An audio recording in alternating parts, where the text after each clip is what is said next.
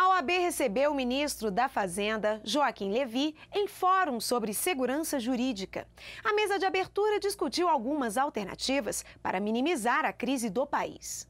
Na abertura do Fórum sobre Segurança Jurídica e Infraestrutura, o presidente nacional da OAB, Marcos Vinícius Furtado Coelho, recebeu a presença do ministro da Fazenda, Joaquim Levi, e destacou que todos devem estar unidos em prol dos direitos dos brasileiros. A Ordem dos Advogados do Brasil entende que esse é um tema prioritário para o nosso país, sempre o foi, mas no momento de crise passa a ser ainda mais essencial. A defesa da segurança jurídica de um ambiente de negócios amigável para que possamos manter os empregos dos brasileiros. Como temos dito, o elo que há de unir todos nós, temos que ter esse norte a nos unir, que é a defesa dos empregos dos brasileiros.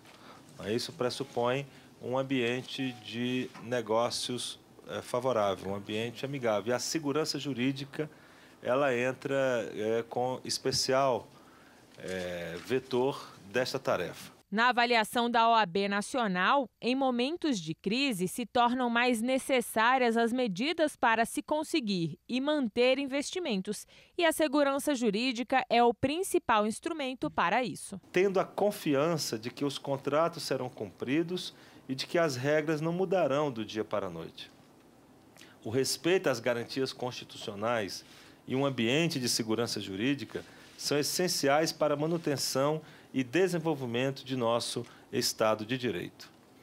Em momentos de crise, percebemos de forma ainda mais clara a sabedoria de nossos constituintes, que fizeram perpassar de maneira implícita ao longo de toda a nossa carta a necessária segurança jurídica. Está em nossa Constituição, por exemplo, princípios como o da não retroatividade de leis para evitar prejuízos a direitos adquiridos ao longo de anos. O ministro da Fazenda disse que a segurança fiscal é a base para a retomada do crescimento. Então a gente tem que focar.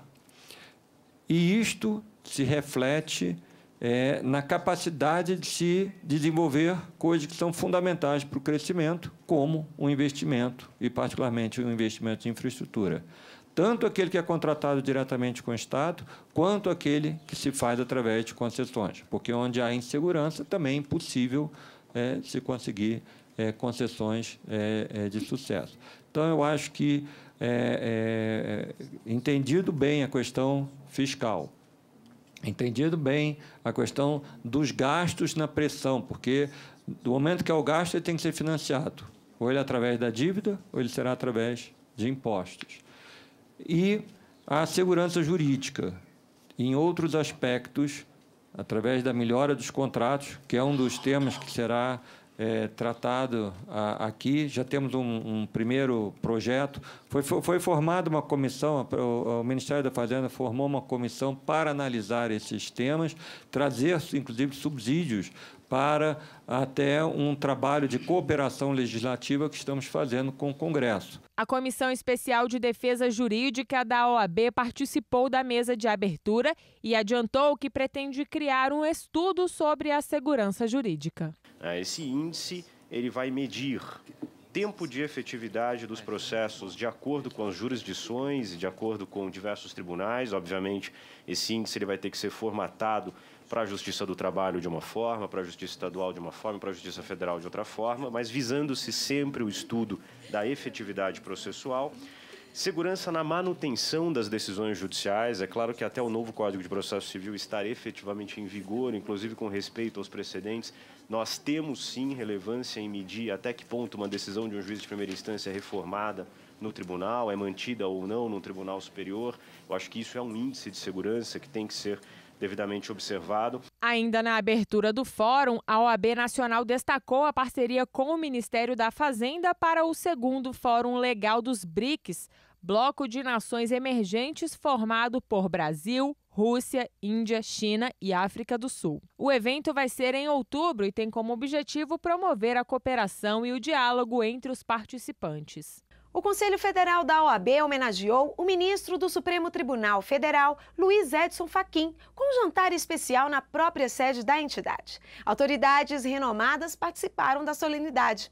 Para o ministro, apesar da missão como juiz da Suprema Corte, está em seu DNA o sentido da advocacia. A ida ao tribunal me fez deixar a advocacia, mas o sentido da advocacia fez em mim uma morada permanente no meu DNA.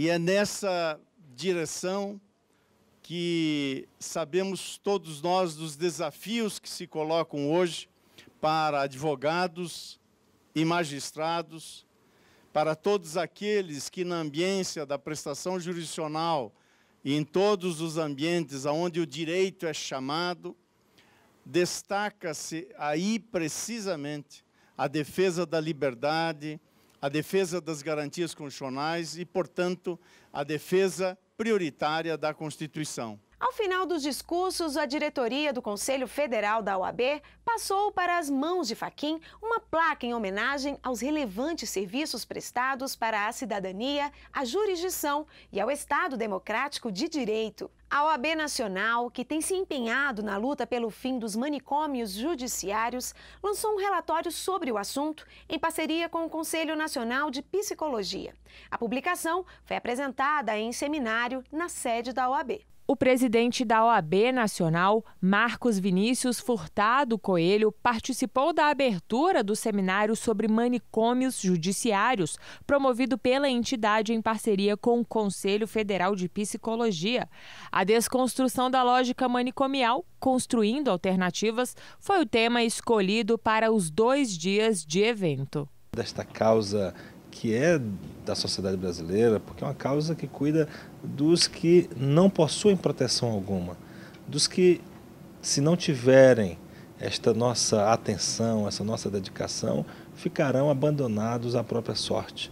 É preciso acabar com a prisão perpétua dos doentes mentais em nosso país. Na ocasião, foi apresentado o relatório Brasil 2015, Inspeções aos Manicômios, que mostra a difícil realidade dessas instituições no país. Esta última inspeção, que resultou no relatório que hoje nós vamos lançar aqui, ela foi uh, uma inspeção diferenciada, na qual nós pudemos uh, produzir mais dados sobre a realidade destas instituições visitadas. É um passo a mais que é dado no sentido de pensarmos os passos seguintes para que possamos ter um atendimento, eh, uma atenção mais humanizada também participaram da cerimônia de abertura o vice-presidente da OAB, Cláudio Lamáquia, e representantes dos Ministérios da Saúde e da Justiça e da Associação Nacional do Ministério Público de Defesa da Saúde. E depois do intervalo, a OAB Nacional participa de abertura de seminário sobre o novo CPC. Já já voltamos.